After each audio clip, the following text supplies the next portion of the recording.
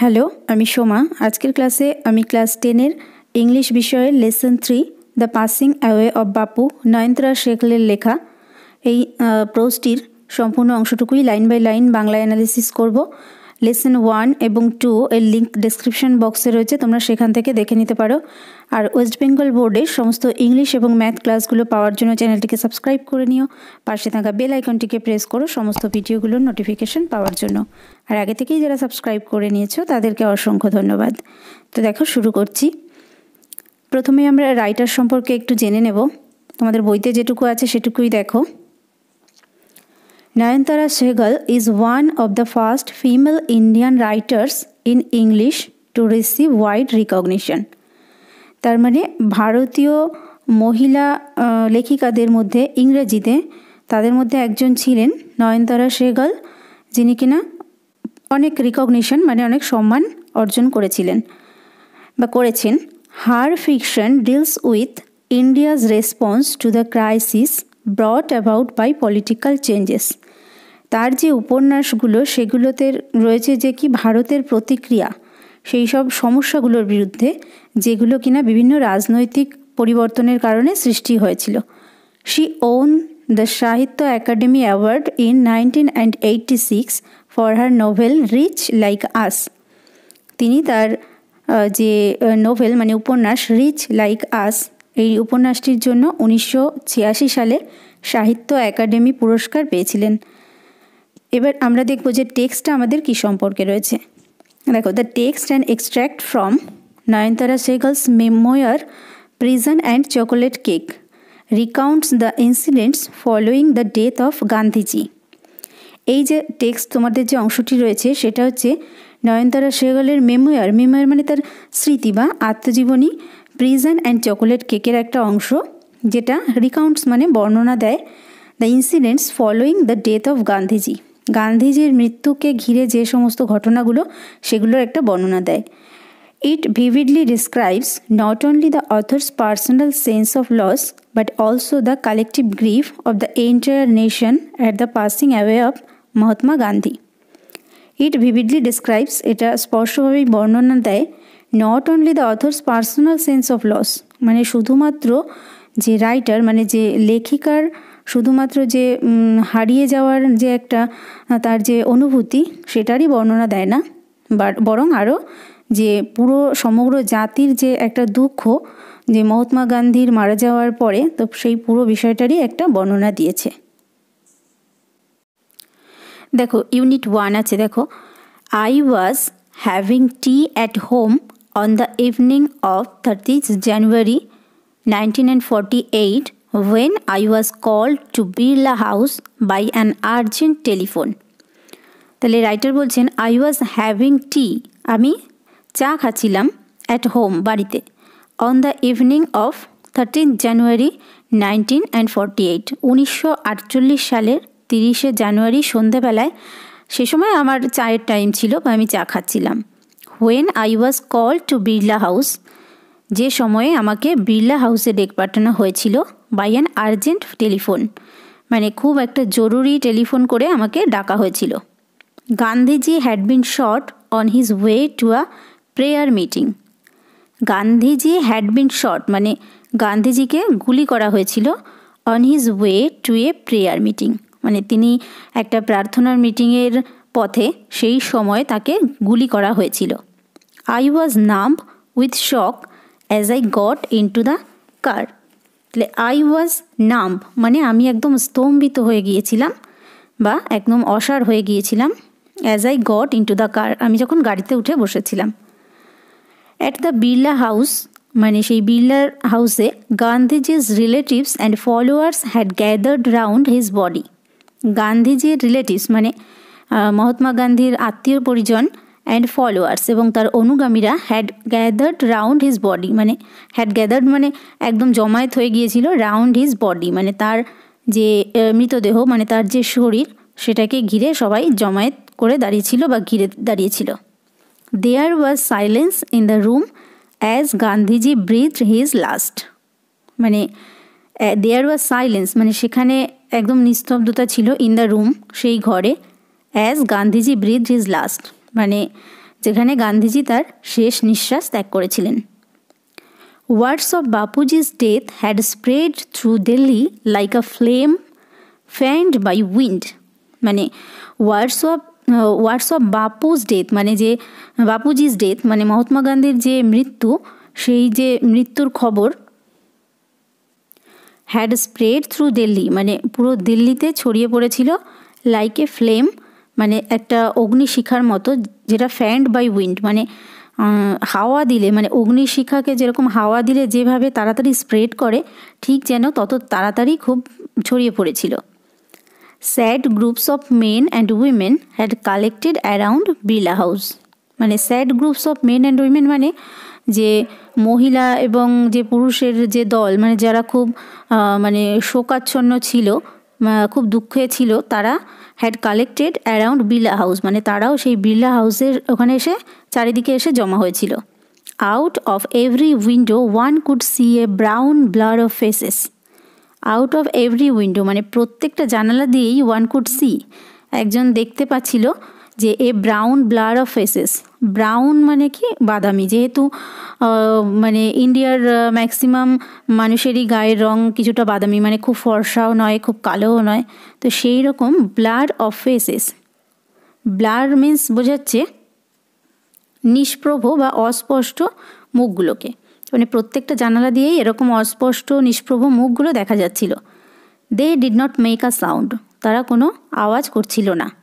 There was an unnatural silence সেখানে ছিল যেন একটা আনন্যাচারাল মানে অপ্রাকৃতিক বা একটা অস্বাভাবিক একটা নিস্তব্ধতা। মানে এত নিস্তব্ধ যেন মানে হয় না। তো সেই রকম একটা অস্বাভাবিক নিস্তব্ধতা সেখানে ছিল। It was as if time stood still for those few minutes it was as if মানে এটা যেন মনে হচ্ছিল বা ছিল যে টাইম স্টুড স্টিল মানে সময় যেন থেমে গিয়েছিল ফর দোজ ফিউ মিনিটস সেই অল্প মানে যে কিছু মিনিট সেই মিনিটের জন্য বা সেই মুহূর্তের জন্য সময় যেন স্তব্ধ হয়ে গিয়েছিল বা সময় যেন থেমে গিয়েছিল।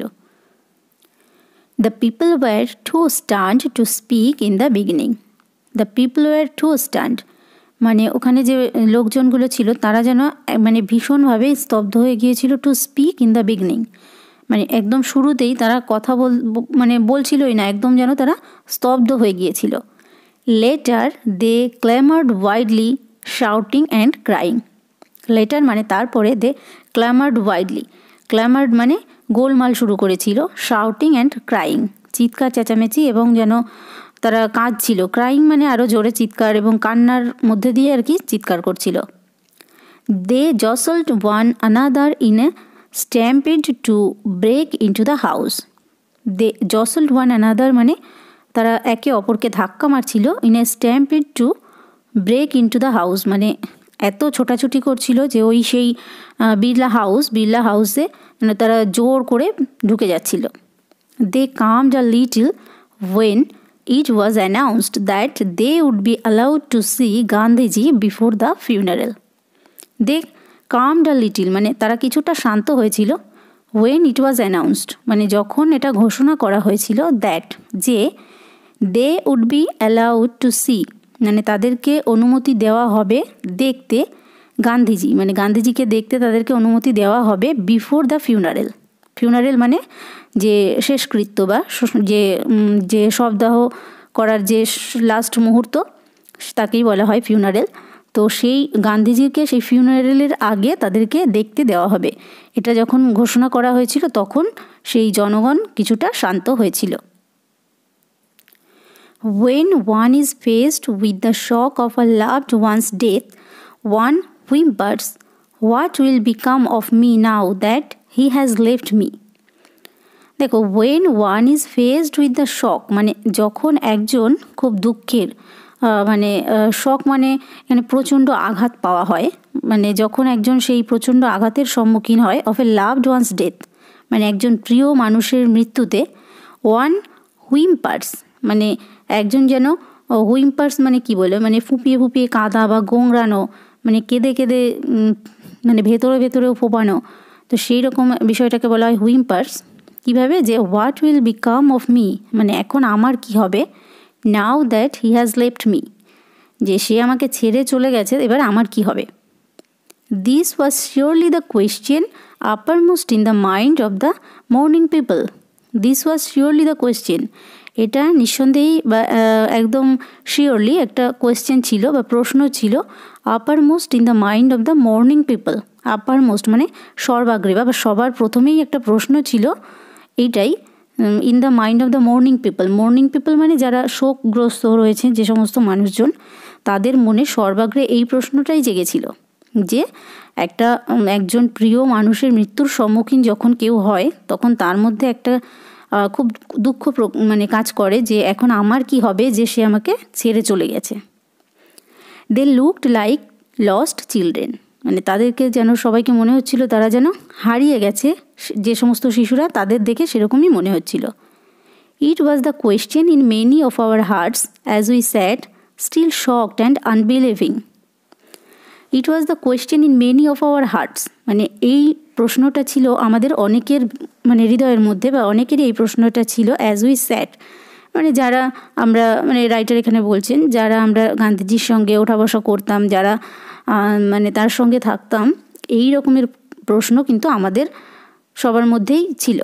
স্টিল শকড অ্যান্ড আনবিলিভিং মানে এখনও পর্যন্ত যেন ভীষণ শকড মানে বিশ্বাস করাই যাচ্ছে না এরকম একটা অবস্থা আনবিলিভিং মানে বিশ্বাসই হচ্ছে না যে তিনি আর নেই। We listen to the broadcast telling the people of India that their Bapu was no more we listen to the broadcast আমরা রেডিও সম্প্রচারণ শুনেছিলাম।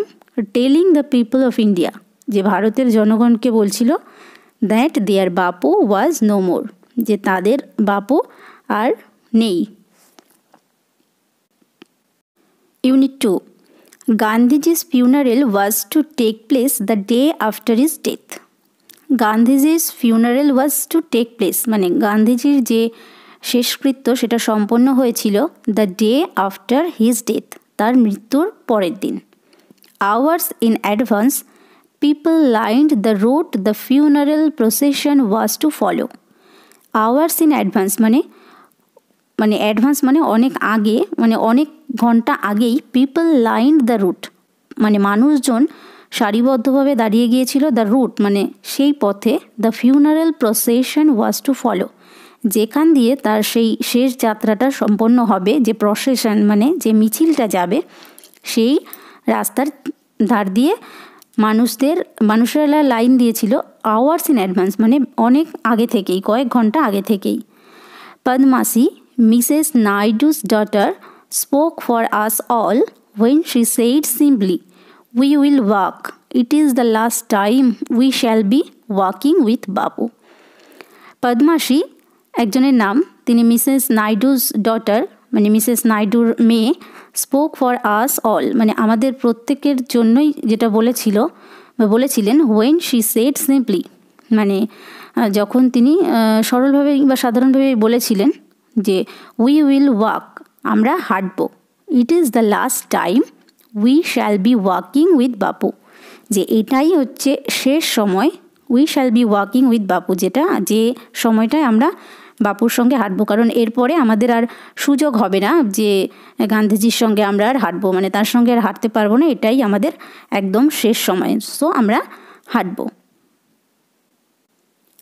It was an agonising walk এটা ছিল একটা মর্মান্তিক একটা হাঁটা। অ্যাগোনাইজিং মানে মর্মান্তিক।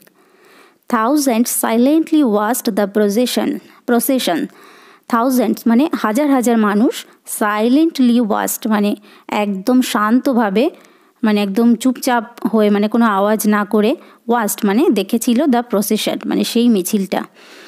Bapu lay on an open truck covered with flowers Bapu মানে মহাত্মা গান্ধী লে অন অ্যান ওপেন ট্রাক মানে একটা খোলা যে ট্রাক, উপরের দিকটা খোলা হয়, সেই রকমের ট্রাকে তাকে শোয়ানো হয়েছিল কভার্ড উইথ ফ্লাওয়ার্স এবং তার যে মৃতদেহটা, সেটা পুরো ফুল দিয়ে ঢাকা ছিল।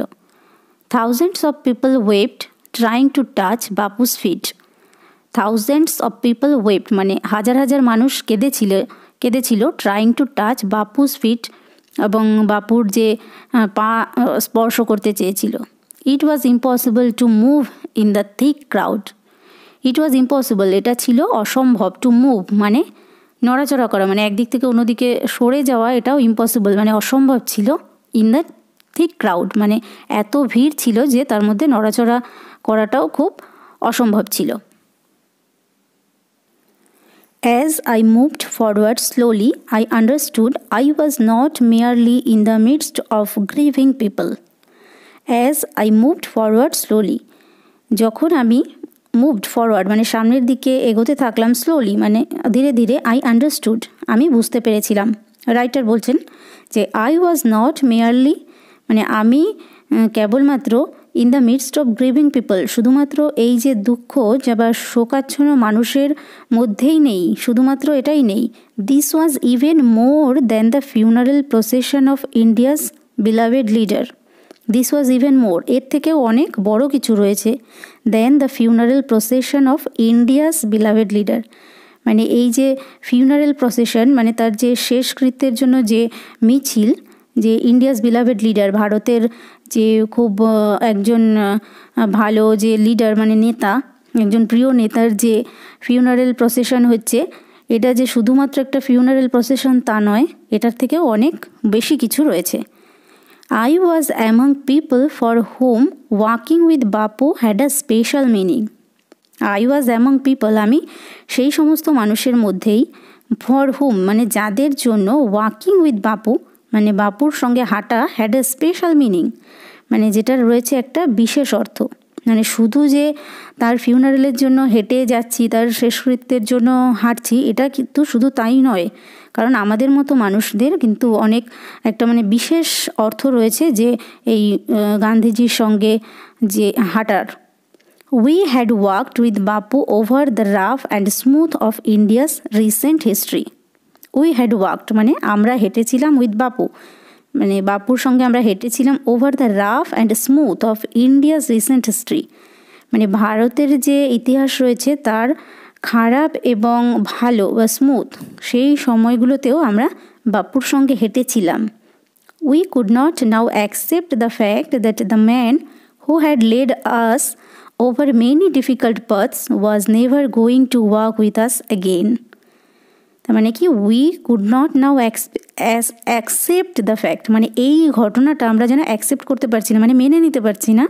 যে দ্য ম্যান সেই মানুষটি হু হ্যাড লেড আস মানে যিনি আমাদেরকে অনেক কিছু শিখিয়েছেন led over led us over many difficult paths মানে বিভিন্ন কঠিন পরিস্থিতির মধ্য দিয়েও আমাদেরকে সেই পরিস্থিতি থেকে উদ্ধার করেছেন যে যে মানুষটি যে was never going to walk with us again মানে তিনি আর আমাদের সঙ্গে হাঁটবেন না। এই বিষয়টা যেন আমরা কেউই মেনে নিতে পারছিলাম না।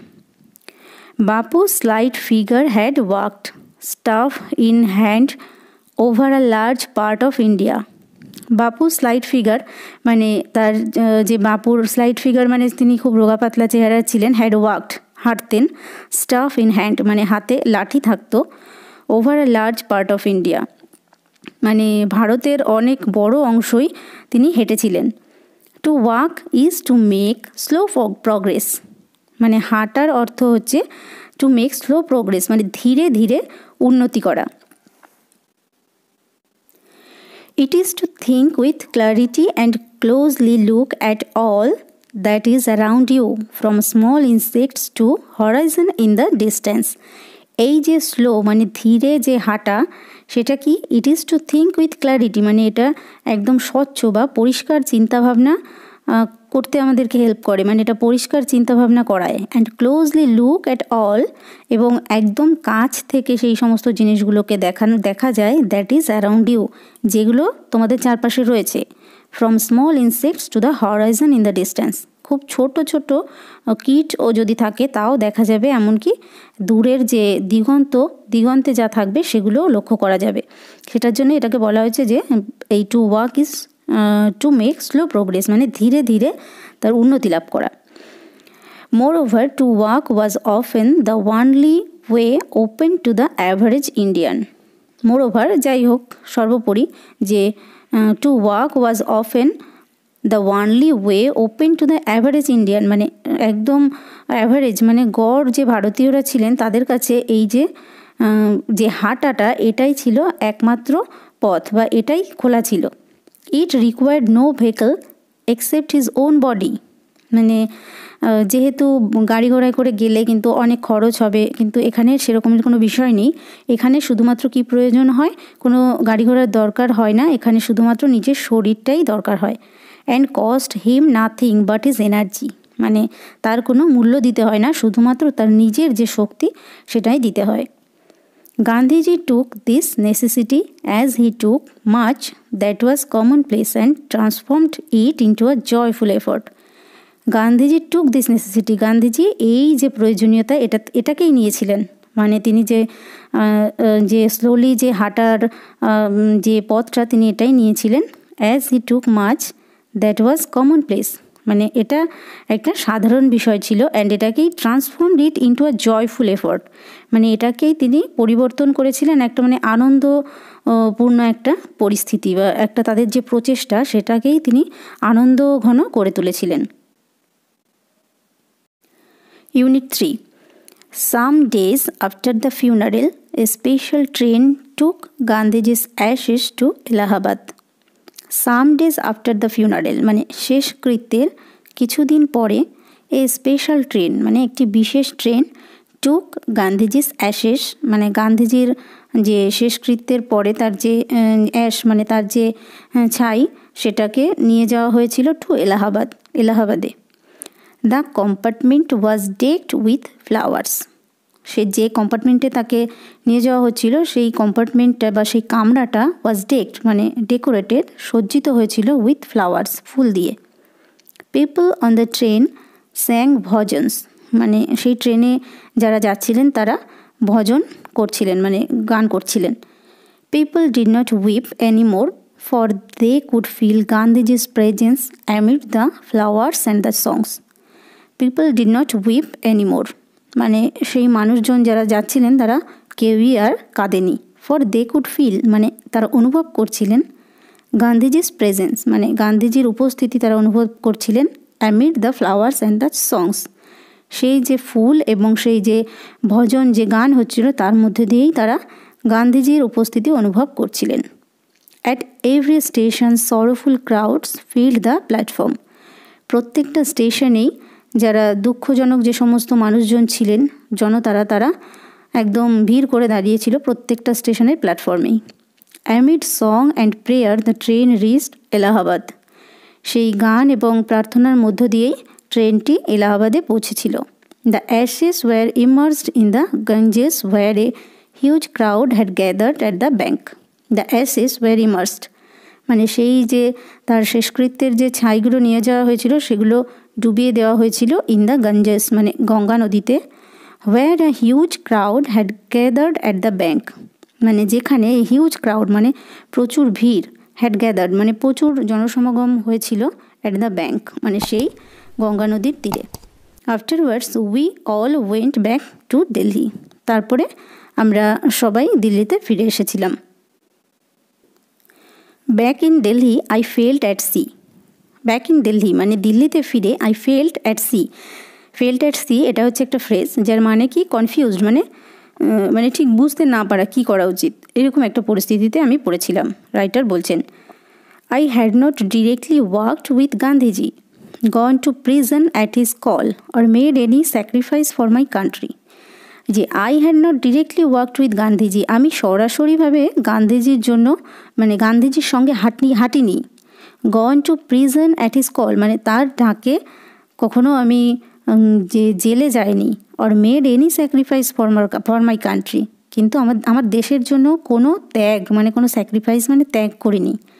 My sisters and I and other young people like me had been merely onlookers মানে মাই সিস্টার্স আমার বোনেরা অ্যান্ড আই এবং আমি and other young people like me এবং অন্যান্য যে অনেক ইয়াং মানুষজন রয়েছে আমার মতো হ্যাড বিন মেয়ারলি অন লুকার্স মানে তারাও শুধুমাত্র হয়তো প্রত্যক্ষদর্শী। But still I at sea কিন্তু তবুও আমি যেন একটা কনফিউজড হয়ে রয়েছি বা হতভম্ব হয়ে গিয়েছিলাম। I felt I had grown up within a magic circle আমি আমি অনুভব করছিলাম যে আমি যেন হ্যাড গ্রোন আপ মানে বেড়ে উঠেছিলাম উইদিন আ ম্যাজিক সার্কেল মানে একটা যেন জাদু বৃত্তের মধ্যে দিয়ে আমি বেড়ে উঠেছিলাম। With Bapu's passing away, I felt the magic circle had vanished, leaving me unprotected with Bapu's passing away মানে বাপুর মারা যাওয়ার সঙ্গে সঙ্গে আই ফেল্ট মানে আমি অনুভব করছিলাম দ্য ম্যাজিক সার্কেল যে সেই জাদু বৃত্তটি হ্যাড ভ্যানিশড মানে শেষ হয়ে গেছে লিভিং মি আনপ্রোটেক্টেড মানে আমাকে যেন মানে অসুরক্ষিতভাবে ছেড়ে চলে গেছে।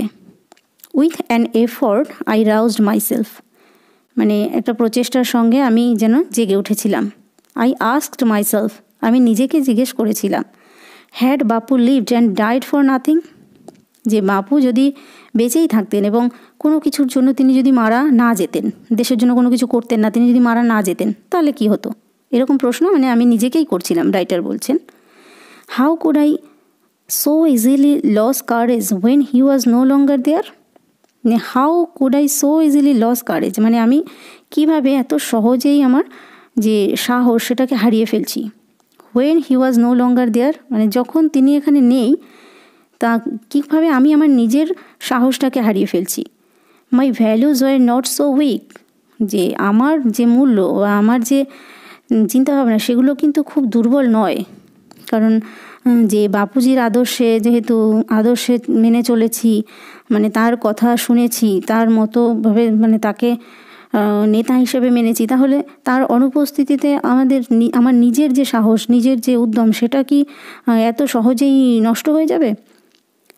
Millions of people would have been ordinary folk but for Bapu যে মিলিয়ন্স অফ পিপল মানে হাজার হাজার মানুষ would have been ordinary folk মানে সাধারণ মানুষই ছিলেন বাট ফর বাপু কিন্তু এই বাপুজির সংস্পর্শে এসেই তার মানে অনুপ্রেরণায় অনুপ্রাণিত হয়ে কিন্তু মানুষজন সবাই দেশের জন্য তারা লড়েছিলেন। He brought them out of indifference and awakened them to one another suffering he brought them out of indifference মানে তিনি তাদের সেই উদাসীন বা তাদের সেই অনীহা মানে সাধারণ মানুষের তার মধ্য থেকেই তাদেরকে জাগিয়ে তুলেছিলেন। And awakened them to one another suffering এবং তাদেরকে জাগিয়ে তুলেছিলেন একে অন্যের যে কষ্ট, তার মানে তার সঙ্গে সহানুভূতিশীল হওয়া সেরকমভাবে তাদেরকে জাগিয়ে তুলেছিলেন। What if now Bapu is gone what if now Bapu is gone মানে বাপু যে চলে গিয়েছেন, তাতে কি হয়েছে? We were still there young strong and proud to bear his banner before us we were still there আমরা এখনও পর্যন্ত রয়েছি। ইয়াং স্ট্রং খুব শক্তিশালী অ্যান্ড প্রাউড এবং গর্ববোধ করব to bear his banner before us মানে তার জন্য মানে পতাকা তৈরি করে, নিশান তৈরি করে আমাদের সামনে, আমাদের, আমরা যখন চলবো, আমাদের মিছিলের সামনে তার পতাকা তৈরি করে আমরা কাজ করব, আমরা তার জন্য গর্ববোধ করব। Bapu had passed away but his India would continue to live in his children যে বাপু হ্যাড পাস্ট অ্যাওয়ে বাপু মারা গিয়েছেন বাট হিজ ইন্ডিয়া তার যে ভারতবর্ষ উড কন্টিনিউ সেটা চলতে থাকবে to live in his children তার যে ছেলেমেয়েরা রয়েছে মানে আমরা রয়েছি, আমাদের মধ্যে দিয়েই ভারতবর্ষ চলতে থাকবে। তো ভিডিওটি তোমাদের ভালো লাগলে একটা লাইক দিয়ে দিও কমেন্ট করে জানিও। পরবর্তী ভিডিওগুলো নোটিফিকেশান পাওয়ার জন্য চ্যানেলটিকে সাবস্ক্রাইব করে নিও। Thank you